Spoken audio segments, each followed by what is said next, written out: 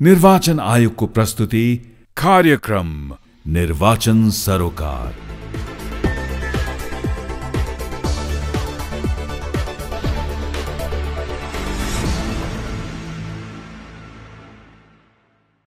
नमस्कार। निर्वाचन आयोगको प्रस्तुति कार्यक्रम निर्वाचन सरोकारमा यहाँहरूलाई स्वागत छ। म जनकराज पण्डित।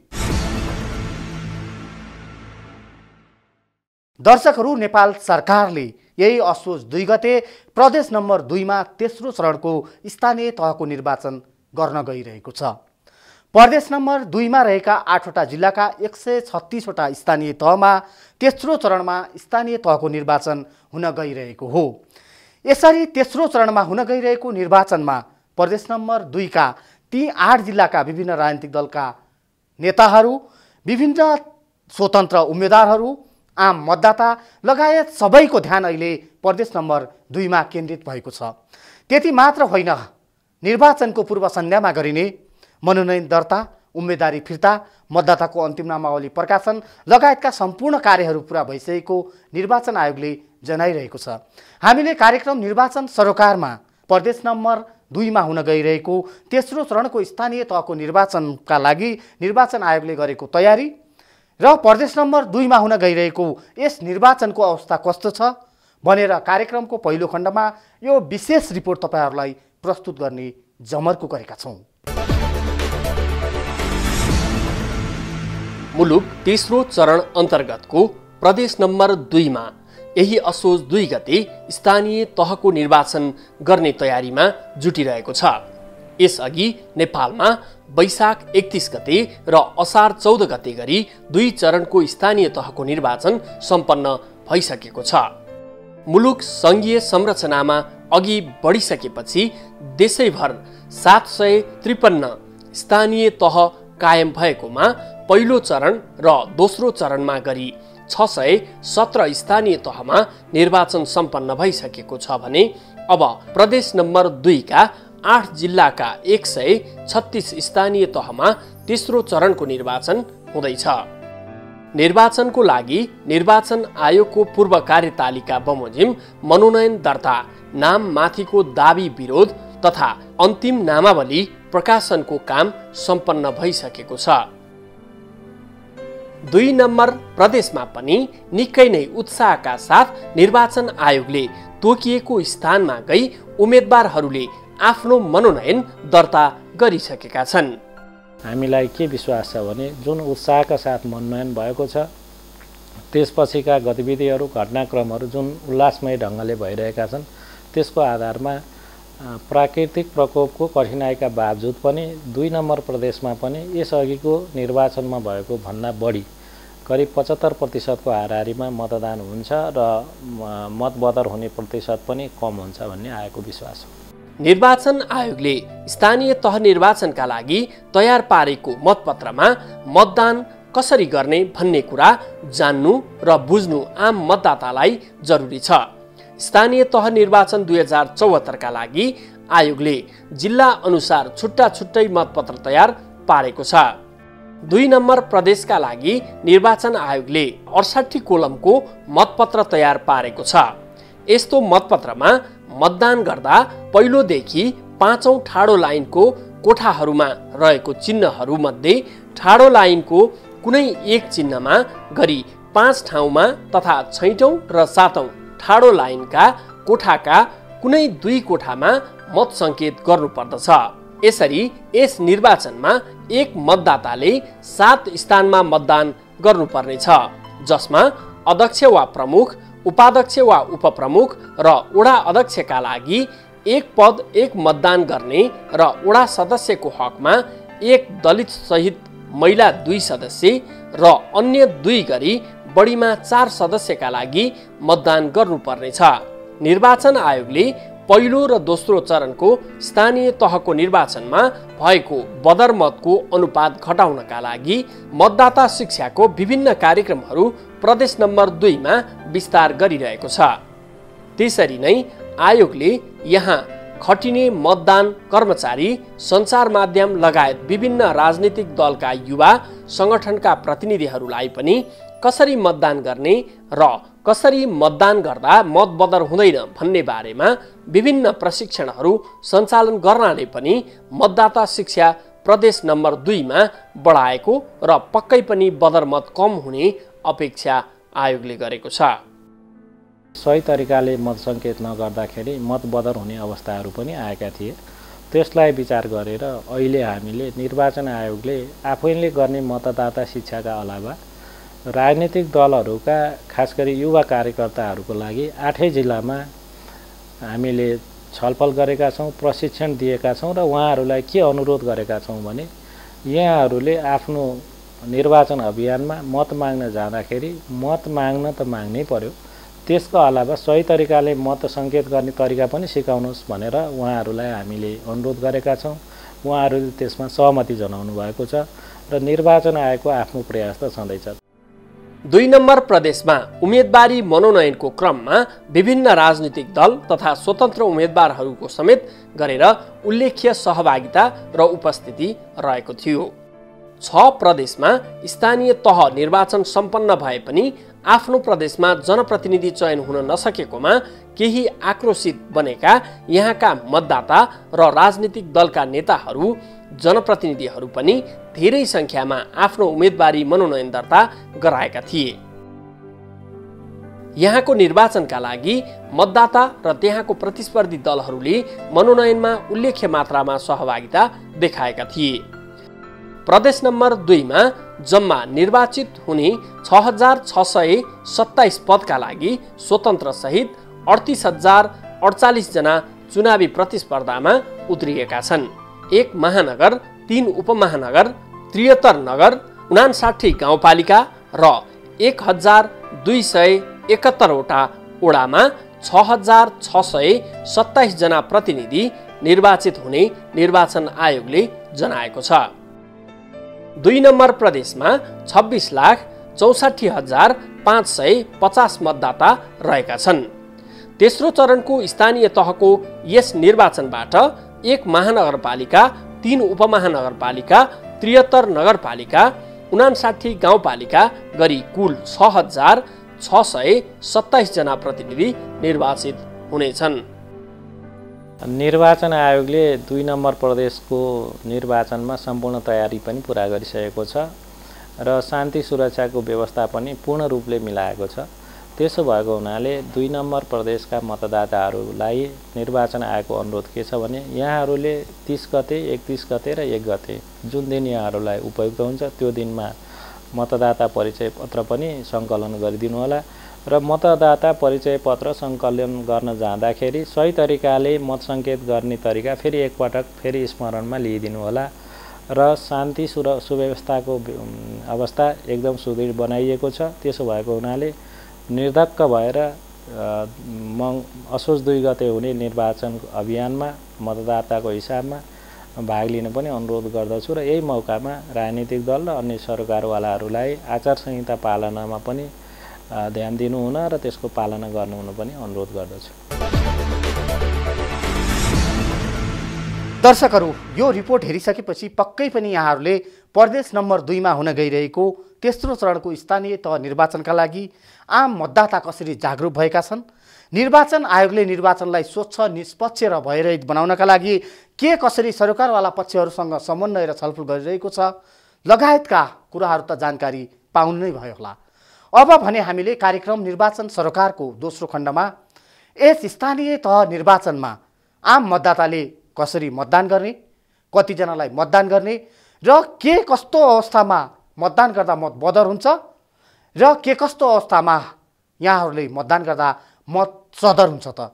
आउनुहोस् यहाँहरूका लागि तयार पारिएको यो विशेष सामग्री यहाँहरूकै लागि। स्थानीय तह निर्वाचन दुई हजार चौहत्तर। मतपत्रमा सही तरिकाले मत सङ्केत गरौँ। गाउँपालिका र नगरपालिकामा हुने यस निर्वाचनमा आम मतदाताले सातजना स्थानीय प्रतिनिधिका लागि मतदान गर्नुपर्नेछ। पहिलो मत गाउँपालिका अध्यक्ष वा नगरपालिका प्रमुखका लागि। दोस्रो मत गाउँपालिका उपाध्यक्ष वा नगरपालिका उपप्रमुखका लागि। तेस्रो मत वडा अध्यक्षका लागि। चौथो मत एकजना महिला ओडा सदस्यका लागि। पाँचौँ मत एकजना दलित महिला वडा सदस्यका लागि। छैटौँ र सातौँ मत अन्य दुईजना ओडा सदस्यहरूका लागि। अध्यक्ष वा प्रमुखका लागि पहिलो ठाडो लाइन। उपाध्यक्ष वा उपप्रमुखका लागि दोस्रो ठाडो लाइन। वडा अध्यक्षका लागि तेस्रो ठाडो लाइन। महिला ओडा सदस्यका लागि चौथो ठाडो लाइन। दलित महिला वडा सदस्यका लागि पाँचौँ ठाडो लाइन। र अन्य दुईजना ओडा सदस्यहरूका लागि छैठौँ र सातौँ अर्थात् दुईवटा ठाडो लाइनमा निर्वाचन चिन्ह रहने व्यवस्था गरिएको छ। उम्मेद्वारको संख्या बढी भएका स्थानहरूमा यस किसिमको मतपत्रको व्यवस्था गरिएको छ।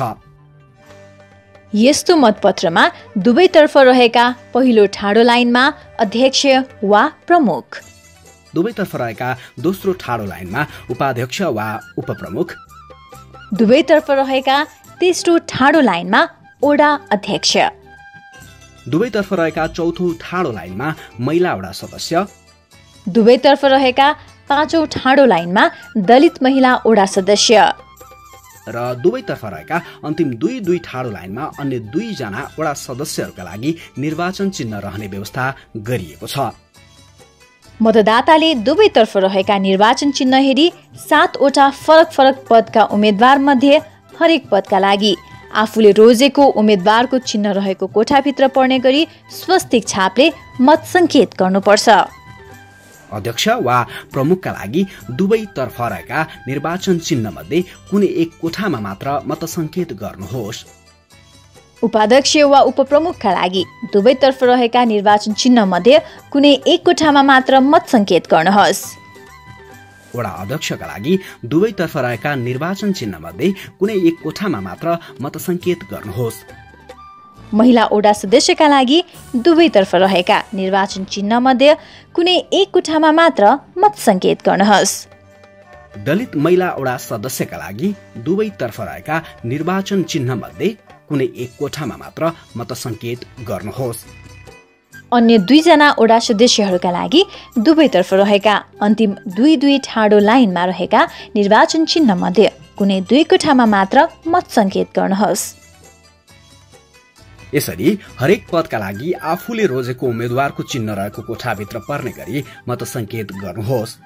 मतसङ्केत गर्नु अघि आफूले मतदान गर्न चाहेको पद वा चिन्हमा उम्मेद्वार रहेकोमा विश्वस्त हुनुहोस्। उम्मेद्वार नरहेको स्थानमा मत दिएमा त्यस्तो मत गणना हुँदैन। आफ्नो अमूल्य मत बदर हुनबाट जोगाऊ मतपत्रमा पहिलो पाँच पदका लागि हरेक पदमा एक भन्दा बढी उम्मेद्वारलाई मत दिएमा त्यस्तो मत बदर हुन्छ। त्यस्तै गरी मतपत्रमा छैठौँ र सातौँ पदका लागि दुई कलममा रहेका जुनसुकै दुई भन्दा बढी उम्मेद्वारलाई मत दिएमा त्यस्तो मत बदर हुन्छ। मत सङ्केत गर्ने क्रममा छेउमा रहेको छापदानीबाट स्वस्तिक छापमा पुनः मसी लगाई स्पष्ट रूपमा मत सङ्केत गर्नुपर्छ। तर मत सङ्केत गर्ने क्रममा स्वस्तिक छाप नबुझिने गरी लतपतिएमा मत बदर हुन्छ। मतपत्रमा स्वस्तिक छाप बाहेक अन्य छाप लगाएमा वा अन्य चिन्हले मत सङ्केत गरेमा मत बदर हुन्छ। त्यस्तै दुईवटा निर्वाचन चिन्ह रहेको कोठाको बीचमा पर्ने गरी स्वस्तिक छाप लगाएमा मत बदर हुन्छ। त्यसै गरी उम्मेद्वारको चिन्ह रहेको कोठाभन्दा बाहिर स्वस्तिक छाप लगाइएमा मत बदर हुन्छ। मतपत्र लिने क्रममा सो मतपत्रमा मतदान अधिकृतको हस्ताक्षर रहेको सुनिश्चित गरौं। मतदान अधिकृतको हस्ताक्षर नभएको मतपत्रलाई मान्यता प्राप्त हुँदैन। त्यस्तै मतपत्रलाई पच्याउँदा स्वस्तिक छाप मत सङ्केत गरिएको स्थानमा बाहेक अन्य स्थानमा नलतपतिने गरी मिलाएर पट्याउँ स्थानीय तह निर्वाचन दुई हजार चौहत्तर। दर्शकहरू पक्कै पनि यहाँहरूले यो सामग्री हेरिसकेपछि कसरी स्थानीय तहको निर्वाचनमा मतदान गर्ने र कतिजनालाई मतदान गर्ने भन्ने बारेमा त जान्नु नै भयो होला। अब हामीले कार्यक्रम निर्वाचन सरोकारमा निर्वाचन आयोगका उपसचिव सूर्यप्रसाद अर्यालसँग प्रदेश नम्बर दुईमा हुन गइरहेको स्थानीय तह निर्वाचन र निर्वाचनमा कसरी मतदान गर्ने लगायतका विविध विषयमा केन्द्रित रही कुराकानी गरेका छौँ। कार्यक्रम निर्वाचन सरकारको तेस्रो खण्डमा यसै विषयमा केन्द्रित रहेर हामीले निर्वाचन आयोगका उपसचिव सूर्यप्रसाद अर्यालसँग कुराकानी गर्ने जमर्को गरेका छौँ।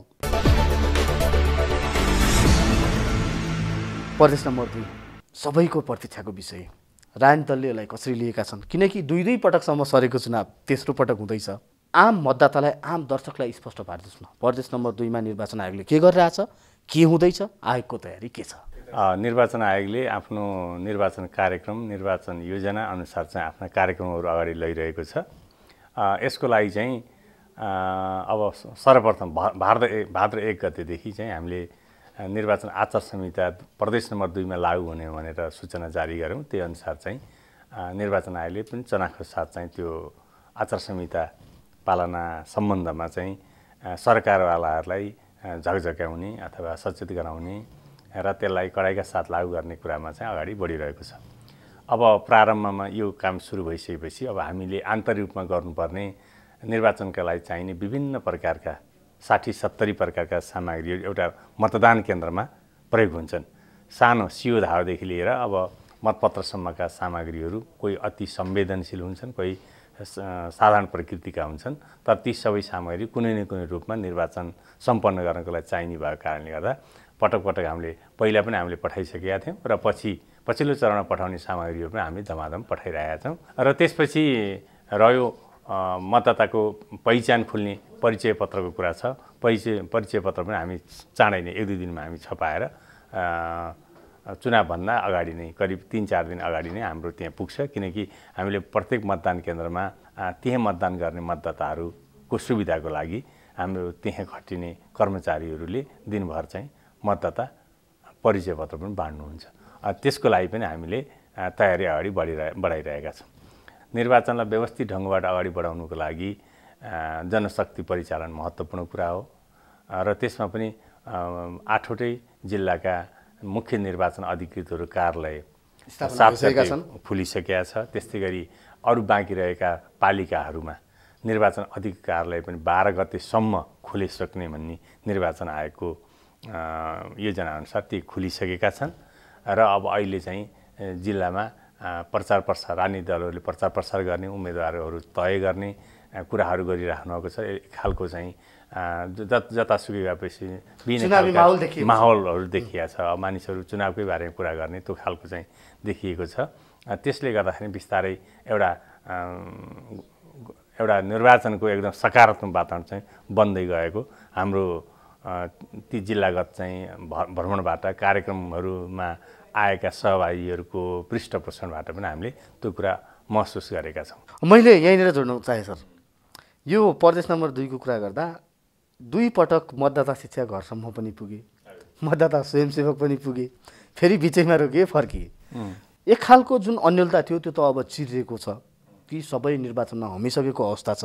कोही पछाडि हट्ने अवस्था छैन। कसरी चुनाव जित्ने भन्ने ध्यानमा सबै राजनीतिक दल चुनावमा हमेर लागिसकेको अवस्था छ। यो अवस्थामा सबैभन्दा महत्त्वपूर्ण कडी र पाटोका रूपमा हुन्छ मतदाता शिक्षा। जबसम्म मतदाता साक्षर बन्दैनन् मतदाताले आफ्नो मतको सही सदुपयोग गर्दैनन्। त्यो चुनावले त्यति धेरै महत्त्व राख्दैन पनि। हामीले जुन योभन्दा अगाडिका चुनावहरू पनि हेरेका छौँ कि आयोगले आफूसँग एकदमै लिमिटेसन टाइमका बावजुद पनि जसरी मतदाता शिक्षा प्रदान गरेको थियो अहिले त जम्मा एउटा प्रदेश छ हो जम्मा आठवटा जिल्ला छ। आयोगको सम्पूर्ण शक्ति नै भन्न राज्य शक्ति सरकार नै स्वयं दुई नम्बर प्रदेशको चुनाव कसरी सफल पार्ने भन्ने ध्यानमा लागिरहेको अवस्थामा। यहाँ स्वयं त्यही शाखासँग सम्बन्धित हुनुहुन्छ। मतदाता शिक्षा दुई नम्बर प्रदेशमा अहिले कसरी अघि बढिरहेछ र मत बदर कम गर्नका लागि आयोगले के के गरिरहेछ स्पष्ट पारिदिनुहोस्। हस् धन्यवाद। अब मैले संस्थागत रूपमा त भनिहालेँ कि अब पहिला पनि हामीले एक महिनाको लागि चाहिँ निर्वाचन शिक्षा कार्यकर्ताहरू परिचालन गरेका छौँ उहाँहरूलाई भुक्तानी पनि दिइसकेका छौँ खर्च भइसकेका छ। सामग्रीहरू जुन रूपमा अरू प्रदेशमा गएको थिए त्यही रूपमा गएका छन्। अ, एक खालको एक लेभलको चाहिँ शिक्षा त पहिला पनि गइसकेका हो। तर यद्यपि त्यो ठाउँमा राजनीतिक कारणले गर्दा अथवा निर्वाचनको वातावरण चाहिँ अलिकति सकारात्मक नभएको कारणले गर्दा कतिपय ठाउँ अवरोध भएको कुरा यहाँले भन्नु त्यो कुरा चाहिँ हामीलाई पनि जानकारीमा आएकै विषय हो। अब अहिले अब त्यतिले मात्रै पुग्यो भनेको भए त हामीले फेरि यो पन्ध्र बिस दिन चाहिँ मतदाता शिक्षा स्वयंसेवक अथवा कार्यकर्तालाई खटाउनु त थिएनौँ। त्यसरी आवश्यकता छ भनेरै फेरि नयाँ बजेट व्यवस्था र जनशक्ति परिचालन गरेर हामीले परिचालन गरिसकेका छौँ। उहाँलाई नयाँ मिति र नयाँ इन्फर्मेसन साइट चाहिँ दिएर भने नमुना मतपत्र पनि नयाँ छपाएर पठाएका छौँ। र अनि चाहिँ पछिल्लो तिन दिन चाहिँ मतदान केन्द्रमा सक्कली मतपत्र मतदान केन्द्रको भित्तामा टाँसेर त्यहाँ आएका मतदाताहरूलाई जो वास्तविक दुई गतेका मतदाताहरू हुनुहुन्छ उहाँहरूलाई एकचोटि आफूले प्रयोग गर्ने चाहिँ दुई गते प्रयोग हुने आफूले छाप हान्ने चाहिँ मतपत्रको सक्कली ढाँचा हेर्न हुन र आफ्नो मताधिकार प्रयोग गर्ने चिन्ह कहाँनिर कसरी छ भनेर पूर्व सूचित हुन र यकिन हुनको लागि चाहिँ हामीले मतदाता शिक्षा कार्यकर्ताहरू मार्फत चाहिँ अनुरोध पनि गर्दछौँ। त्यसले पनि अझ अन्तिमको कडीको रूपमा रहेको चाहिँ शिक्षाले टेवा पुग्दछ। जुन पहिलो चरण र दोस्रो चरणमा जुन खालको मतदाताहरूमा अन्यलता थियो त्यो अन्यलतालाई चिर्नका लागि एकजना मतदाताले कतिजनालाई मतदान गर्ने कसरी मतदान गर्ने? हाम्रा दर्शकहरूलाई सरले नमुना ब्यालेट पेपर मार्फत नै सो गरिदिनुहोस् यो प्रदेश नम्बर दुईमा प्रयोग हुने मतपत्रको ढाँचा यत्रो प्रकार भने यो साइजको छ। असली मतपत्र यो यो नमुना मतपत्र हो। असली मतपत्रमा चाहिँ यो सबैभन्दा ठुलो दल एक नम्बर भनेको छ यतापट्टि छ भने दोस्रो ठुलो दलका चिन्हहरू लहर यता छन्। तेस्रो ठुलो दलका चिन्हहरू यतापट्टि छन् यो कोठाहरूमा छन्। चौथो ठुलो दलका चिन्हहरू यता छन्। कम क्रमैसँग चौथो पाँचौँ छैटौँ सातौँ आठौँ गरेर अनि राष्ट्रिय मान्यता प्राप्त दलहरूको चिन्हहरू सकिएपछि अन्य दलहरू अथवा स्वतन्त्र चिन्हहरू तल राखिएका छन्।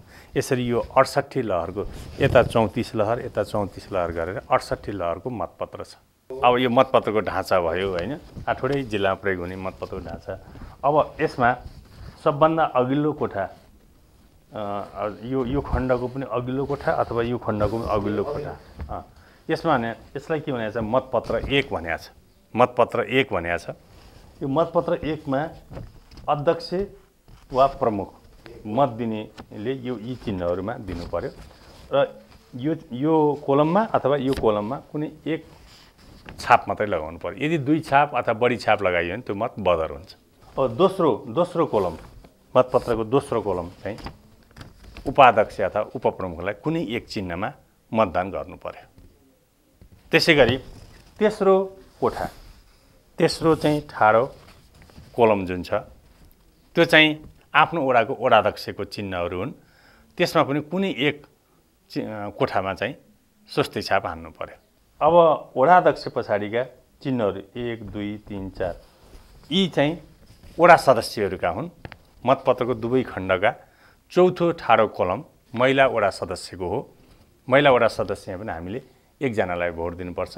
त्यस्तै पाँचौँ यो पाँचौँ ठाडो कोलम चाहिँ दलित महिला वडा सदस्य। र त्यसपछि जुन यो मोटो ठाडो धर्सो छ योभन्दा यतापट्टिका दुईवटा ठाडा कोलममा चिन्हहरू छन्। ती अन्य दुई सदस्य अथवा खुल्ला सदस्य भन्ने पनि चलन छ। वडाका अन्य दुई सदस्यहरूको हो। यो चाहिँ यो सिङ्गो फेरि एउटा मतपत्र हो। त्यसैले यो मतपत्रमा कुनै दुई कोठामा चाहिँ छाप हान्ने हो।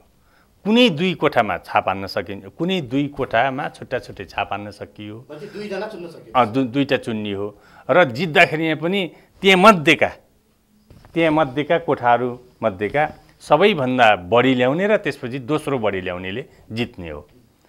त्यो एउटै कोलमको हुन पनि सक्छ अथवा फरक फरक कोलमका पनि हुन अथवा यो कोलमकै दुईजनाले सबभन्दा बढी र त्यसपछि दोस्रोमा ल्यायो भने यसैबाट पनि आउन सक्यो अथवा यो यो कोलमबाट एकजनाले यो कोलमबाट एकजनाले ल्याउन पनि सक्छ। त्यस हुनाले यहाँ यहाँकोमा हामीले यस र यो चिन्ह र यो चिन्हलाई पनि दिन सक्छौँ यो चिन्ह र यो चिन्हलाई दिन पनि सक्छौँ अथवा यो चिन्ह र यो चिन्हलाई पनि दिन सक्छौँ यो चिन्ह र यतापट्टि पनि दिन सक्छौँ। त्यस कुनै पनि दुई कुनै अथवा यता र यता पनि दिन सक्छौँ यता र यता दिन पनि सक्छौँ। यसरी चाहिँ त्यहाँ कुनै दुई कोठामा कुनै दुई कोठामा स्वस्ति छाप लगाउने र कुनै दुई कोठाका सबभन्दा बढी ल्याउने र अनि त्यसै दोस्रो बढी ल्याउनेले जित्ने हो। हवस् त सर यहाँको अमूल्य समय र सुझावका लागि यहाँलाई धेरै धेरै धन्यवाद। हस् धन्यवाद। दर्शकहरू कार्यक्रम निर्वाचन सरोकार आजलाई यति नै। हाम्रो साक्षात्कार फेरि पनि हुने नै छ। कार्यक्रमका अन्य श्रृङ्खलाहरूमा तबसम्मका लागि म सहित सम्पूर्ण युनिटलाई बिदा दिनुहोस्। नमस्कार।